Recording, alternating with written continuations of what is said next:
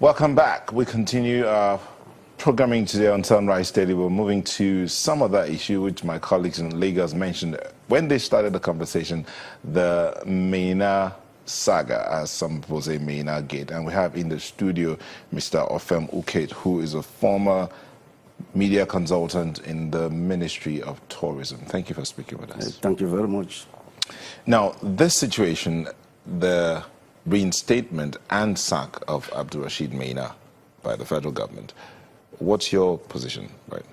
Uh, yes, uh, in, uh, on the 27th of uh, April this year, the Office of the Attorney General of the Federation uh, issued a letter to the Federal Civil Service uh, Commission requesting that the Commission act upon the consequential effect of the judgment that was given in 2013 by the court uh, uh, against issuing a warrant of arrest against me now.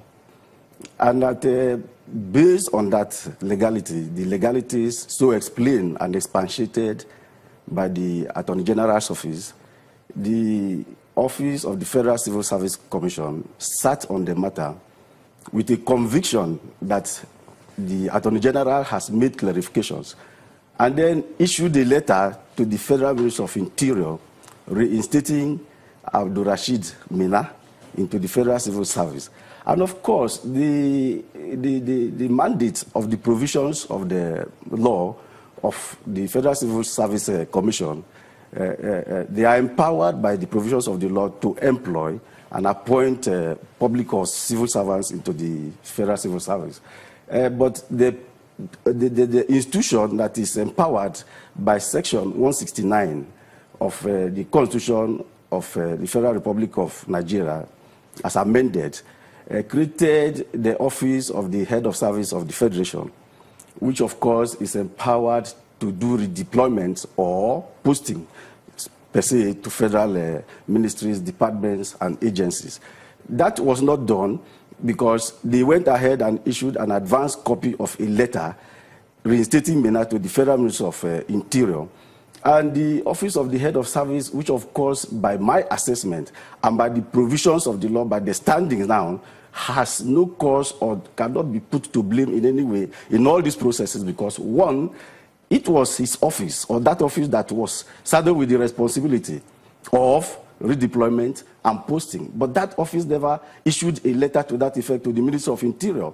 So what happens was that the Attorney General office and that of the Federal Civil Service Commission with the Ministry of Interior had come together to reinstate Maina.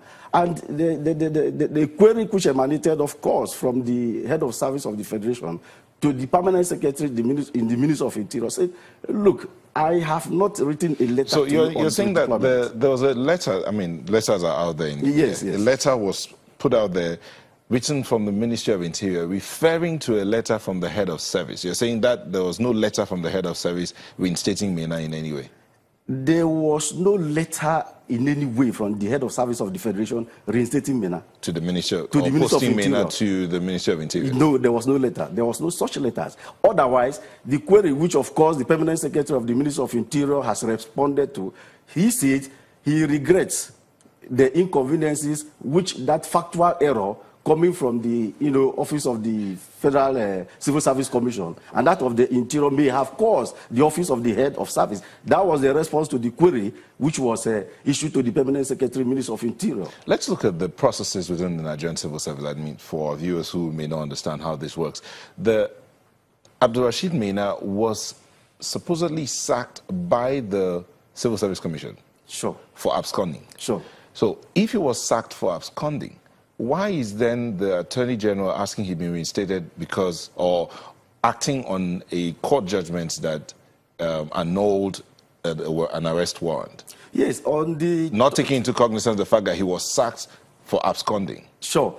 On the 13th, I mean on the 3rd of February precisely, he was dismissed from the civil service, consequent upon, you know, the warrant of arrest that was issued against him. Was and, he dismissed based on the warrant of arrest or yes, dismissed for not being at work for a while? Yeah, for not being at work for a while for alleged corruption charges against him in office, and then the warrant of arrest, which was issued against. Of course, you cannot be in public office or occupy any uh, uh, public office when you are in the wanted list of an economic uh, crimes commissions, you know, or any of these uh, anti-graft institutions. It is not possible for you to be in the office. So he was sacked in, on the 3rd of uh, February 2013. He was removed from office. So how he smuggled himself into the country uh, uh, suddenly to perhaps negotiate with the office of the Attorney General to get a reinstatement into the civil service is what baffles Nigerians. Because as a matter of fact, I must be very clear on this uh, issue.